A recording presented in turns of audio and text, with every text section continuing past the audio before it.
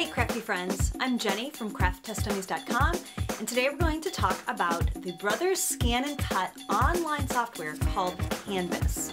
Some of you have asked me if I've used it, how do I import files, how do I manipulate things? Well, I've done a little video for you and I'm going to show you how I've used it. Let's take a look.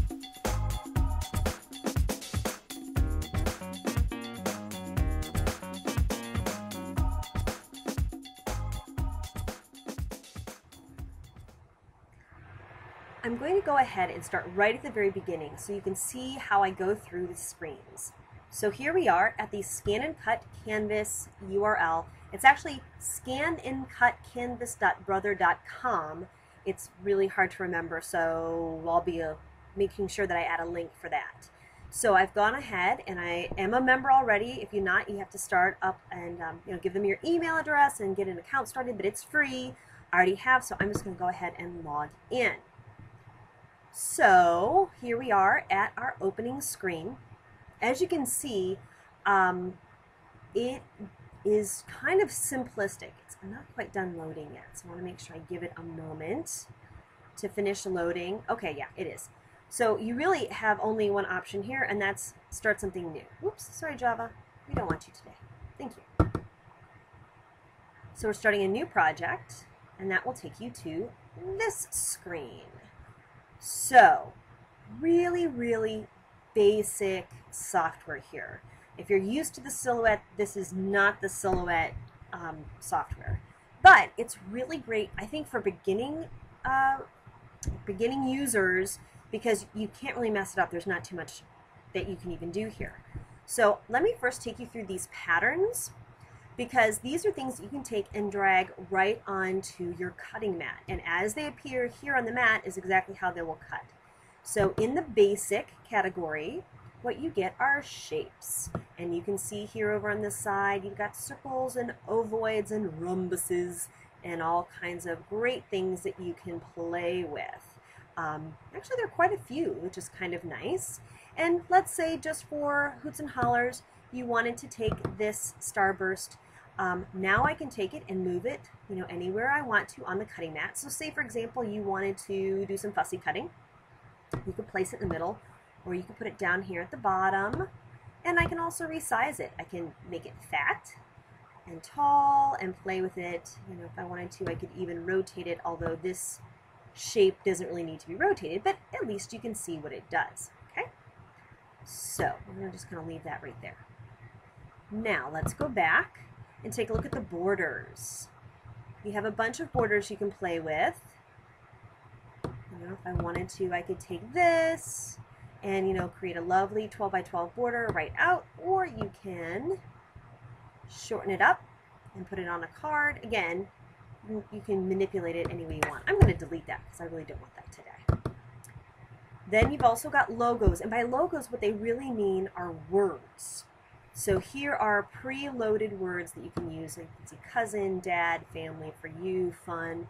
So again, for example, if I wanted to, I could take this dad and make it a little smaller and then drop it right into my little starburst design.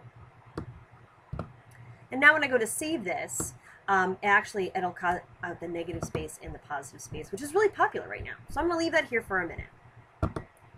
The last thing we have is text, and by text they mean fonts. And there's only a few of them here loaded in. I really don't know how to access more, but we're going to use this function actually in just a minute. So what if you have an image on your computer that you want to cut out? Maybe it's a graphic. What you can do is open up this image tracing window, choose a file, and I'm scrolling down. I'm going to use this Emmet minifig just because that way you can see.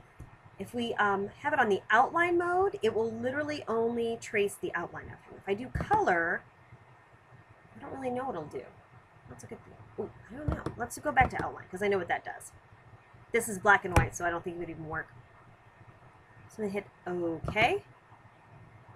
And there's Emmet, my minifigure, that again, now I can make bigger or smaller and use him as I like. Again, I'm going to delete him for now because I have one more thing I want to show you. I'm going to choose another file, and this time I'm going to come over here to Derby. My sister is a new Derby roller girl, and I want to cut this out for her and make it a vinyl to put on her car. So I'm going to go ahead and choose it. I'm going to open it, and I'm going to OK it. And now it shows up on my screen. Now, for some reason, it didn't do the word hit. But no worries, because I can go back to that text function, grab some text, and add that in myself. First, I'm going to get rid of the word text, and I'm going to put hit. I'm going to click off to select the whole area. I'm going to shrink it down, and now I'm going to move it right into the skate. Boom! I like it.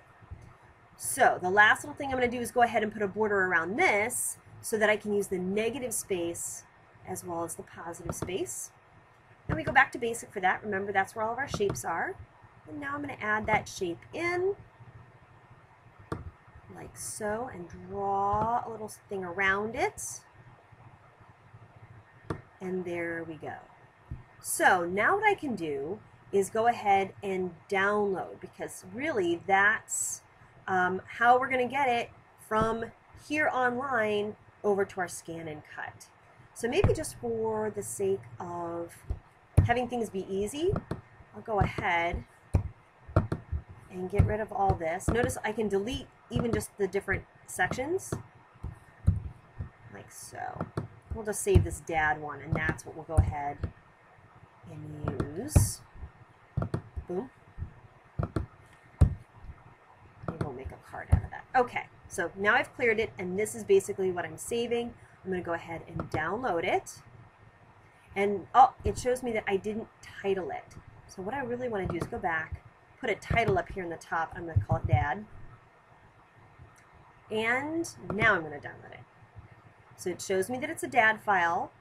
And if I right click on it, I save it as, and now it's showing me that here it's going to go into my USB, which is exactly where I want it to be. And here are some other files I've already made up. So let's save it. And now you can't see off screen, but it has saved and I'm ready to take my USB and go on over to the scan and cut. Now we're ready for the next part, getting it cut in our scan and cut. So I've gone ahead, I've turned on the machine, I've inserted my USB, and now I'm kind of at this home screen. So what I'm going to do is go ahead and press pattern, and then it's going to show me all the things that are already in there, but I'm going to go ahead and go to saved data, and this is saved on the USB. That's what that is. So now you can see some files on my USB, and I can scroll down, and here are some scan and cut files. So let's go back to that dad and there it is. So now all I have to do is get my mat ready and cut.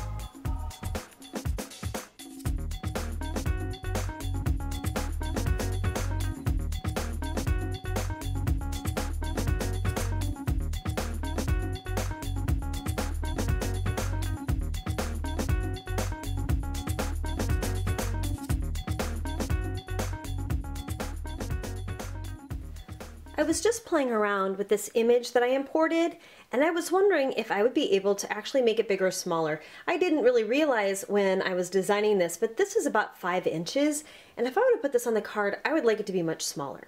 So what I'm going to do is actually go on over so I can see the screen a little bit better and now how you see how it's highlighted the area?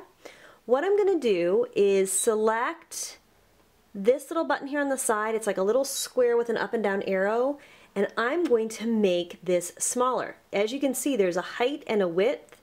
So if I want to, I can hit minus and bring that down to about three inches and a bit. So it's actually just under four inches wide. And then I'm gonna hit okay. And then I'm gonna select actually, let me separate it and get it out of the way. And take my dad and do the same thing. So I'm now I'm going to make it smaller so it fits inside. Isn't this great? So this is, I, I'm really happy about this. because now what that means is that even if you import something and you don't quite like it, you can still go back, tinker with it a little bit more, and be ready to use it. Yay, scan and cut. So there we have it. Thank you so much for watching. I really would appreciate it if you gave this video a thumbs up if you found it helpful. And also please subscribe to the channel. That way you don't have to wait for videos to go into blog posts. You'll know as soon as I upload them. Also, if you have any questions, please leave me a comment down below. I'll answer as many as I can and hopefully come up with some new ideas for the next set of videos. Thank you so much for watching and have a crafty day.